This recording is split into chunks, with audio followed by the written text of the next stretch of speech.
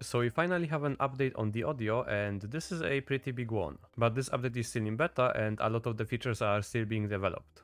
But let me just overview it really quickly. So you have the new audio API which basically allows you to manipulate and customize the audio inside of the studio engine. And let's just take this example right here for instance. So you have the audio player and this audio player is connected to the audio emitters that are the speakers and also the audio analyzer right here and I will be showing how to set it up later, as well as overview the instances that were added from, I believe, right here. But basically just think of the whole system as having like an audio card that you connect everything to through wires.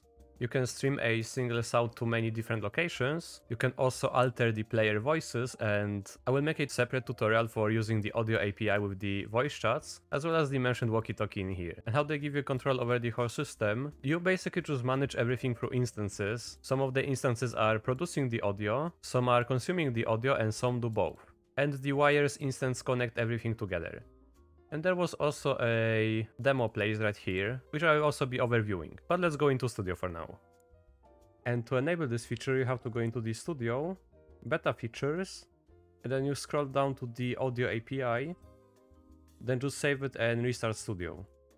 And just to simplify everything for the system, how you can build everything with the new audio API, this is going to basically be the whole structure. You need the player, you need the listener, and then you need the speaker. The player is the sound card that's going to play the audio, the speaker is going to be something that's gonna emit the audio, and the listener is going to be something that's gonna listen to the audio.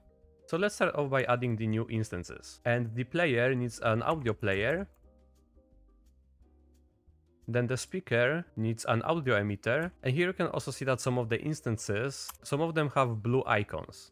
And what a blue icon means is that the instance, if it has a blue icon, it needs to be parented to an object that's rendered in the 3D world. So the audio instances with white icons, they can just be parented wherever like a folder. But let's move on. So we have the player and the speaker, and now let's also add a listener. And the listener instance is the audio listener. Okay, so now we have these three and we need to connect them, and we do so by wires. I'm going to add a wire into the folder, and I will name this one player to emitter, where the source instance is going to be the audio player, and the target instance is going to be the emitter. So just imagine that this was the speaker that was connected to the sound card with a cable. Right, and then you have the listener. Nothing needs to be connected to the listener, but the listener itself has to be connected to something that will allow us to hear the audio, or rather render the audio and not hear it. So we need to add another instance, which is going to be the output, this audio device output.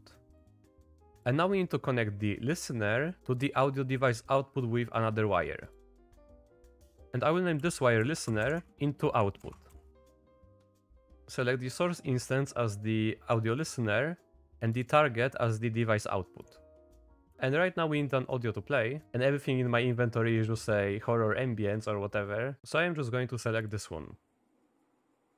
And I am going to copy the asset ID, move this one back, and then just in the audio listener, in the asset tab, there is the asset ID property. And this is where we need to put the asset ID. And right now, after I just put the numbers, this is ready property and time length didn't update, and that is because I need to put the RBX asset ID instead, and whenever it updates that means it's loaded correctly. So now the audio player is going to have the audio, and this listener is going to listen to the audio coming from the speaker right here, and then it's going to output the audio to the basically audio device output which is currently set to my headphones. And let's also add a script inside of the audio player, and this will just be the play script. So I can do script.parent and then play. Since to play an audio from the audio player, we need to use the play method. And I didn't set it to looping, so let me fix that really quickly. I'm just going to change the looping property. But basically I'm going to do a run test again. And you can see how it's a bit in the left ear. And that is because this part is the listener. And this part being the listener means that I can move it around. And if I move it on top of the part, you can basically just hear how the audio changes and if I move it a bit out, it's going to fade away.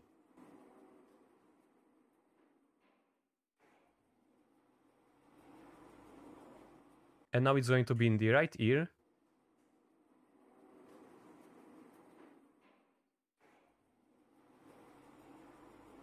Right? I can just move it around and you can hear the audio changing.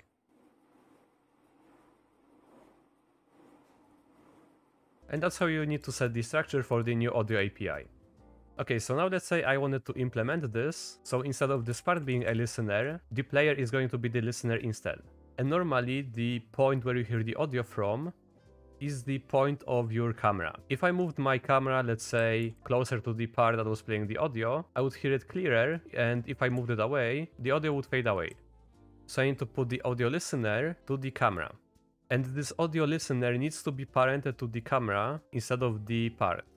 And like I said previously, the instances that don't have the blue icon, they don't need to be parented to instances that are rendered in the 3D world, and the camera is rendered in the 3D world, that's why it has the listener, so I can move the device output right here and, and put the wire to the audio device output for just organization.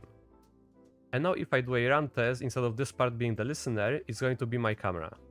So if I move my camera closer to the part, you can hear the audio change.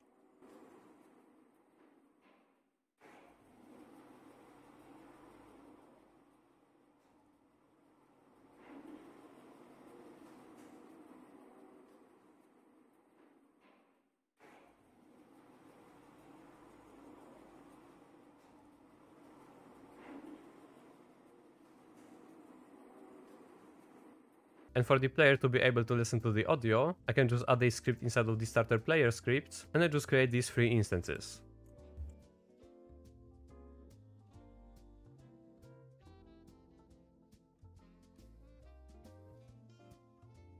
And I'm also going to get the camera.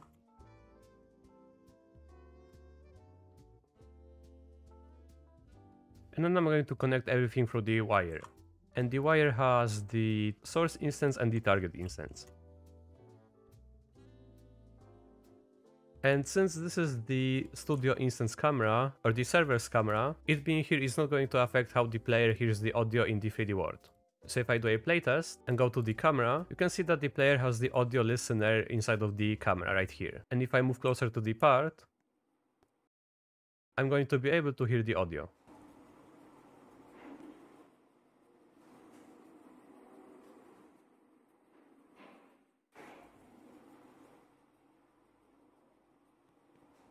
So that's how you can implement this for a player. And before I jump to the demo place, I'm going to just overview the instances that were added right here. So for the audio analyzer, I'm going to have to open the demo place later, but basically it's just something that measures the audio streams. It only has one input pin, and its main method is the get spectrum. And the spectrum is the frequency spectrum of the lost audio buffer as an array of numbers, where the elements are RMSs with different volume levels on a different frequency and it's also shown in the demo place. And the chorus and the compressor, these are audio effects. The chorus makes the audio stream sound more voluminous. You have depth, mix, and rate. The compressor basically just compresses the audio. The device input is something for the microphone to detect whenever you are talking or not. And this can be used to, let's say, add these effects that I just talked about to the voice chat. And I want to do a separate tutorial on this because you can do a lot with the device input. And by a lot, I mean really a lot. This is the output instance, this is the distortion, which is another effect, and same with the echo. The emitter is the speaker, the equalizer is another effect that adjusts the frequency content of audio streams, and it's based on three frequency bounds. Then the fader, flanger are another effects. Fader I believe just adjusts the volume, and the flanger I am not exactly sure. So it imparts a whooshing or sweeping sound on audio by overlaying delayed copy of the input stream and modulating the pitch of the copy. That's interesting. But yeah, just another effect. Then there is the audio listener, pitch shifter which is another effect, the player and the reverb which is also another effect. Okay, I need to drink something really quickly. As usual, remember to stay hydrated guys. And since the rest of this dev forum post is basically telling you how you can set it up and also showcasing it, you can even have multiple audio emitters or multiple speakers that are playing the same audio, but what I want to do is basically tell you how you can use these effects. So let's go back to this structure right here, and let's just add one of the instances. So for example, I'm going to pick the audio fader. So I'm going to add the fader into the player, and then I'm going to add another wire. And now this player into emitter needs to be changed the target instance needs to be the fader. And I'm going to rename this one to player to fader. And then this wire needs to be the fader to emitter. So the source is going to be the fader, and the target is going to be the emitter. And with this audio fader, we can make the audio louder. So I'm going to change it to like 4, or apparently 3 is the maximum. But I'm just going to play it right now. And you can hear that the audio is a bit louder than previously. And I can also adjust the volume right here at runtime.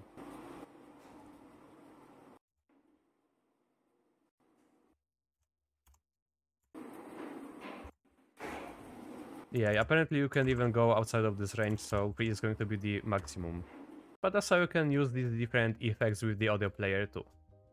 And I am just going to load the audio API plays right now, and just do a playtest to showcase everything. So you basically just have this speaker right here, and you can enable the audio player by just pressing on the button, and it's going to play this audio. And I don't think that you can adjust the roll-off minimum and maximum distance in the audio player yet. Because this feature, like I said, is still in beta and is still being developed. And this is the analyzer that I wanted to show. So basically with the spectrum, what you can do is have this... Or never mind, it's not even working. What a great demo place. There aren't even any errors in the output. But basically what you should be doing, it should be showing you like a different levels of different frequencies. It should basically just be visualized right here. Maybe it's somewhere in the videos right here. Okay, they're just showing the inward listener example, where the listener is listening to the audio coming from this speaker and is playing the same audio on that speaker right there.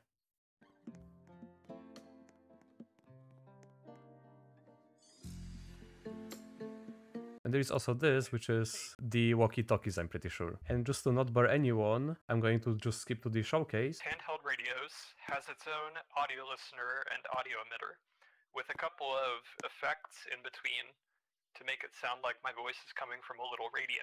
Now I don't have anyone to test the walkie-talkies right now with, but you can basically just get the models from here. You can see how they are set up with the audio emitters, listeners, and also different effects. But I just basically want to do a tutorial on this, showing how things like this are made from scratch. But there are also these different effects that you can play right here. I hope these ones are going to work. So I have the pitch shift, then the reverb, the equalizer, and the distortion. Okay, that's a bit loud. But anyway, but sadly I couldn't show the audio analyzer because I don't know why the place is broken, but I'm sure other people already done videos on these too. But that is basically going to be everything for today. Like I said, this is a huge update and it's still in beta, but I'm really looking forward to using something like this in the future, because we are finally able to get something like this and you can do a lot of creative stuff with this. But anyways, if you found this tutorial informative, then please leave a like and also subscribe to the channel. But that's going to be everything for today, so thank you guys for watching and see ya!